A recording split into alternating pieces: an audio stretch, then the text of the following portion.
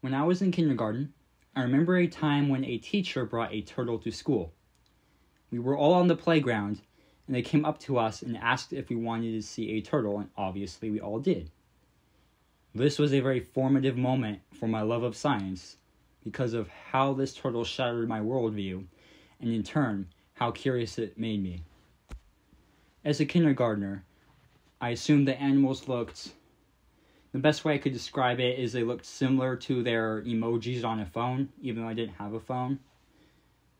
The, the way I, reason I describe it this way is because every book I read and every drawing I saw at that age depicted animals looking very basic. You know, snakes are always green and they always slither and they have the pink tongues and all that. I had assumed that turtles were green, very slow, and had a dome like shell with brontosaurus like legs sticking out. This turtle was completely different. Its shell was flatter and moved quickly across the ground. It had long nails and it wasn't green. This turtle was grayish blackish, and I distinctly remember a little bit of red on the sides of its head. Red, sorry. A little bit of red on the sides of its head. The teacher said that they were driving on their way here and saw the turtle crawling on the side of the road. It didn't occur to me then, but the road wasn't anywhere near normal walking distance to a creek, river, pond, or lake, let alone the walking distance for a turtle. Fast forward a few years later, on a class field trip to a river. I'm not going to say the purpose for being there, but I do remember seeing turtles there. By then, I'd seen plenty of turtles on the internet and in better books and at zoos. And I found these turtles interesting because their color was still gray, but a bit brighter. Almost the same color as the dry part of the dead log which fell into the river. We went back the next year and expected to see the same turtles. To my surprise, these turtles were different. I never saw any of the turtles up close, but they looked off. They were a darker gray. So, why am I telling you all of this? Well, it turns out that turtles, despite being well known as common house pets, are somewhat complicated to take care of. They need plenty of water to swim in, ultraviolet light to keep their shell healthy, special food, an area where they won't freeze because if you use an outdoor pool and have the turtle swim in there, the turtle could freeze to death in the winter.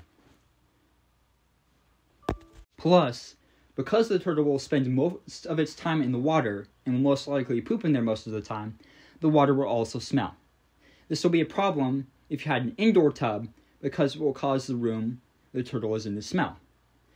This is an even larger problem because you can't really have it outside or inside because outside it would freeze to death, inside it will stink up the room, so you need the proper preparations. If this doesn't seem expensive enough, turtles live over 40 years in captivity. So, just to summarize, turtles are not the best pets for a beginner. One of the most popular pet turtles to own is a red eared slider.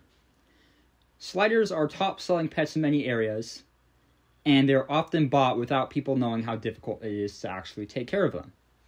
I don't blame them. I would be a terrible turtle owner. I mean, I can take care of a dog, but a turtle seems a lot more high maintenance for something that small.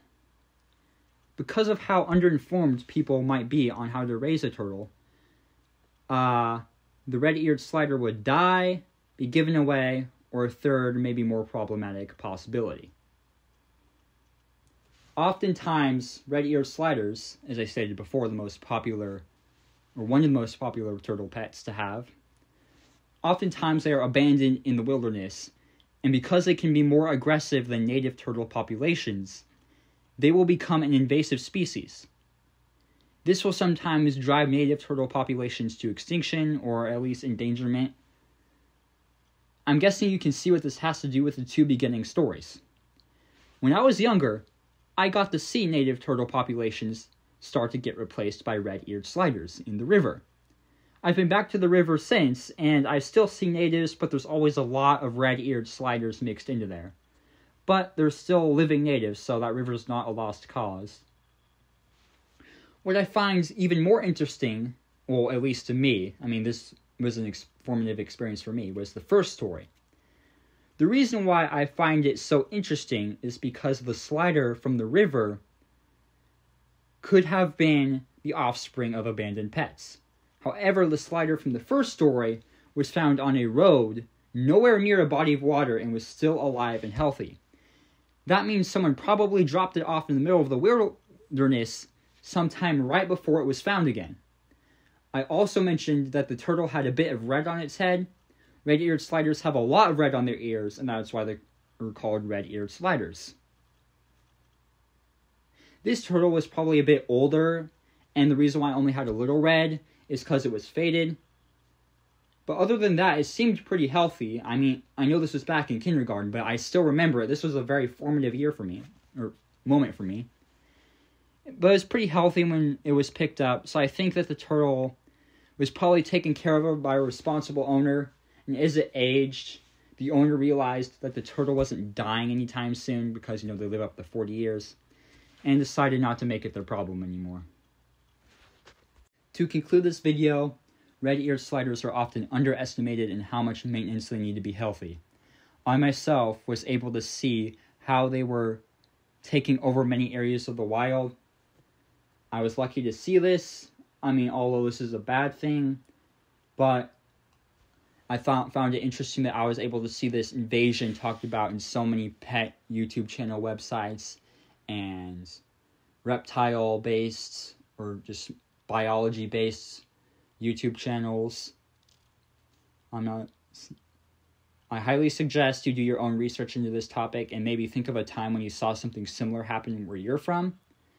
As a disclaimer, I'm not a scientist, I'm just a guy with a YouTube channel, and I thank you for watching.